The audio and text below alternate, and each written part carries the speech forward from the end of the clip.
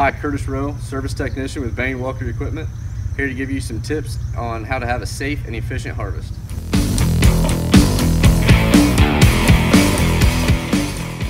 Chopper speed adjustment on your flagship combine.